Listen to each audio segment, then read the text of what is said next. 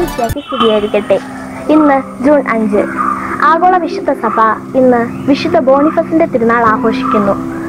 ജർമ്മനിയുടെ അപ്പോസ്തലൻ എന്നറിയപ്പെടുന്ന വിശുദ്ധ ബോണിഫസ് അറുന്നൂറ്റി എൺപതിൽ ജനിച്ചു.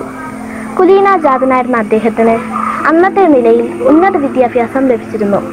വിദ്യാഭ്യാസ ശേഷം അദ്ദേഹം അധ്യാപകനായി ജോലിയിൽ പ്രവേശിച്ചു.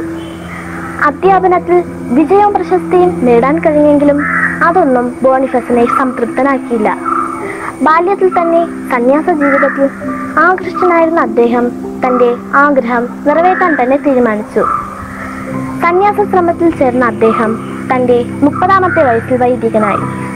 രക്ഷയുടെ മാർഗം കാണാതെ അലഞ്ഞു തിരിയുന്ന അനേകർക്ക് സത്യമാർഗം തുറന്നു കൊടുക്കുക വിശ്വാസ സത്യങ്ങൾ അവരെ പറഞ്ഞ് പഠിപ്പിക്കുക ഇതൊക്കെയായിരുന്നു വിശുദ്ധന്റെ സ്വപ്നവും ജീവിതവും. എഴുന്നൂറ്റി പതിനാറിൽ പ്രേക്ഷിത പ്രവർത്തനങ്ങൾക്കായി അദ്ദേഹം ഫ്രീസ് ലണ്ടനിലേക്ക് യാത്ര തിരിച്ചു. അല്പകാലത്തെ പ്രവർത്തനങ്ങൾക്കു ശേഷം തിരികെ ഇംഗ്ലണ്ടിലെത്തിയ അദ്ദേഹം ഉടൻ തന്നെ തന്റെ പാപ്പയുടെ അനുവാദത്തോടെ ജർമ്മനിയിലേക്ക് പുറപ്പെട്ടു.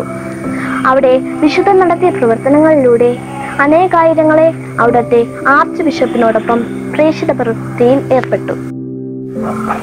അതിനുശേഷം ജർമ്മനിയിലെത്തിയ വിശുദ്ധനെ റോമിലേക്ക് വിളിച്ചു.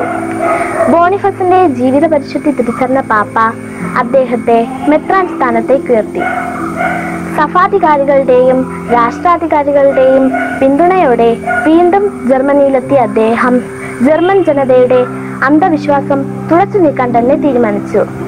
അവർ ദേവന്മാരുടെ വാസസ്ഥലം എന്ന് കരുതി ആരാധിച്ചു കൊണ്ടിരുന്ന തോർസിലെ ഓക്കുവൃക്ഷത്തെ വെട്ടിമാറ്റുകയും ആ വൃക്ഷത്തിന്റെ തടി ഉപയോഗിച്ച് ഒരു ദേവാലയം പണിയുകയും ചെയ്തു.